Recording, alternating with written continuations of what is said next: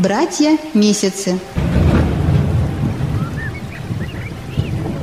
Программа о названиях, приметах и преданиях.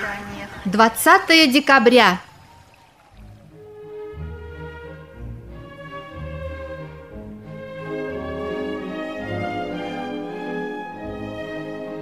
По народному месяца слову обросим.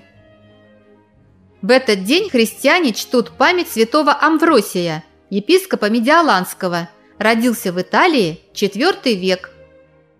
С этого времени и до самого Рождества на вечеринки, пирушки и веселые братчины накладывался по всей Руси своеобразный запрет, нарушать который желающих, как правило, не находилось. Мужики самостоятельные и серьезные всегда заветы отцов строго соблюдали, поэтому, не мудрствуя лукаво, а руководствуясь тем, что обросим все праздники, отбросил, шли, засучив рукава, вавины, оставшиеся хлеба домолачивать. А управившись с этой работой, торопились в хлев, матушку-коровушку проведать или в сад-огород посмотреть, все ли там в порядке. Девушки принимались за шитье на грядущее житье, готовили себе приданное. Красная щелчинка по серебряному полю снует, девка на житье шьет, любовались родители мастерицами. Обычно перед началом работы обращались к Богу за благословением начать дело, а во время шитья приговаривали «Наперед стежка к Богу обратись, наперед шитья Бога славь». Что же представляла собой одежда русского крестьянина? Зимой это был овчинный тулуп или полушубок, иногда подбитый медвежьим мехом кафтан с оборками сзади. На голову надевали теплую шапку с овчинным околышем, оторочкой то есть. Отправляясь зимой в дорогу или заниматься извозом, крестьянин надевал малахай, овчинная дубленая шапка, а ноги обертывал шерстяными онучами, портянками и надевал лапти или башмаки из прутьев лозы, тоже плетеные. Кто побогаче, ходили в валенках. Руки от холода защищали шерстяные варежки домашней вязки, поверх которых надевали рукавицы из дубленой овчины – Летом крестьяне носили пасконную, конопляную или льняную рубаху, которую подпоясывали скрученным из шерстяных ниток шнурком. В повседневный костюм входили порты синего цвета, онучи и лапти. Зажиточные крестьяне ходили в сапогах. Юноши наряжались в красные кумачевые или цветные ситцевые рубахи. Сверху надевали армяки, одежда в виде халата из толстой грубой ткани – которые подпоясывали красным кушаком, широкая тесьма или полотнище ткани. Женские наряды были значительно разнообразнее мужских и в зависимости от местности сильно отличались друг от друга, но все же существовали и общие для всех нарядов вещи. Крестьянки в будние дни носили синие холщовые сарафаны с передниками, на голову надевали тканый платок или набойчатый чехлик, на ноги белые онучи и лапти. На праздники небогатые крестьянки надевали китайчатые или кумачные сарафаны. Китайка – бумажная блекло-желтая ткань, которую когда-то привезли из Китая. Кумачная – тоже бумажная ткань, чаще всего алого, но иногда и синего цвета. Иногда такие сарафаны украшались спереди вышитыми шелковыми нитками позументами – на голову надевали шелковый платок или кокошник. На ноги – коты, женская обувь в виде сапожек или башмаки. Деревенские девушки ходили с непокрытой головой и распущенными волосами, в которые вплетали ленты. А вот по ведическим законам девушка с распущенными волосами, независимо от сословия, была очень редко, например, при совершении определенных таинств и обрядов – Детям женского пола с малолетства, где 6 лет, где-то с 12, в зависимости от традиции и места, волосы заплетали в одну трехлучевую косу, ибо это символизировало объединение жизненных сил миров Яви, Нави и Прави. Коса располагалась вдоль позвоночника и считалось, что все светлые вселенские силы через волосы переходят в позвоночник и наполняют тело, душу и дух девочки, а затем и девушки, особой жизненной силой, тем самым подготавливая ее к будущей священной миссии – материнству. Когда девушка выходила замуж, ее девичью косу расплетали и взамен заплетали две, ибо с этого момента она получала через волосы, собранные в косы, жизненные вселенские силы не только для себя, но и для будущего ребенка. На Руси замужние женщины всегда носили головной убор.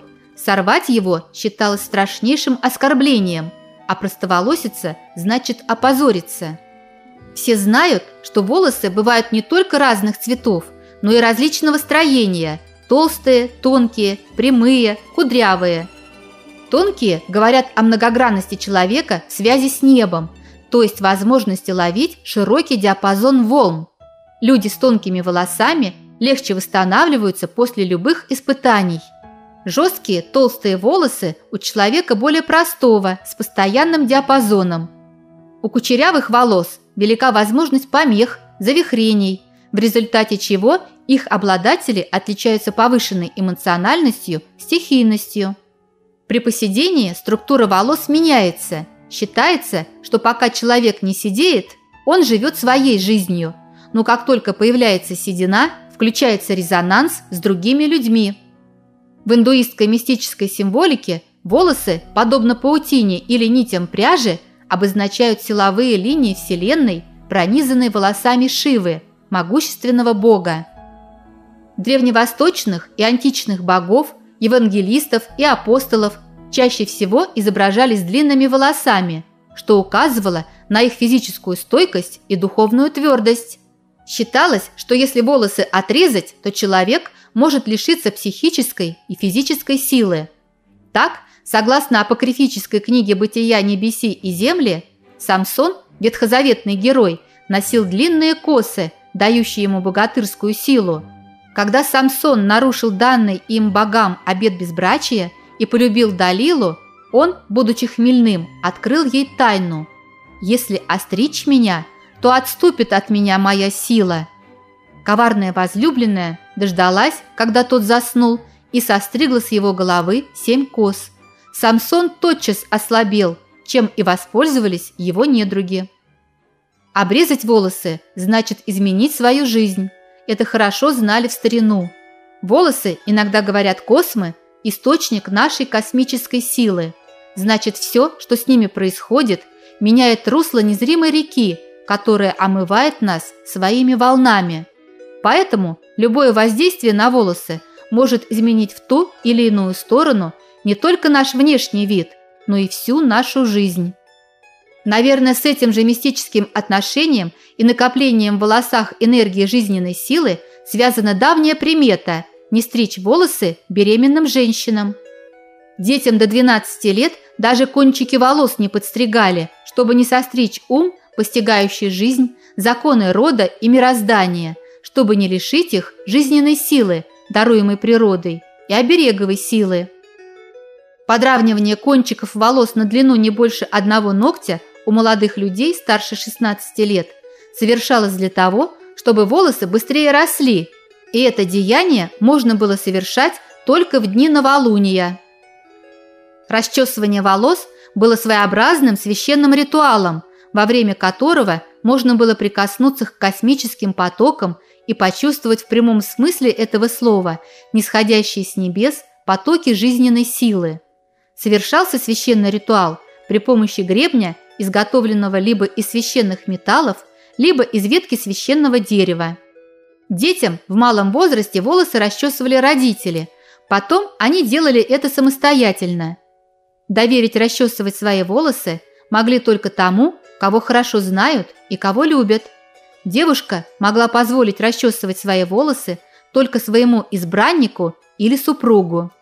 Древняя заповедь гласит «Не стригите свои власы русые, власы разные, да с сединами, ибо мудрость Божию не постигнете и здоровье потеряете». А что же примечали в этот день о погоде? Солнце в туманном кругу, жди пургу. Солнце заходит в облака к снегопаду. Зима суровая, весна ненастная, а лето жаркое. Зимнее тепло, летний холод. Снег плотный и мокрый к влажному лету, сухой и легкий к сухому. Да пребудет мудрость в родах ваших, славяне.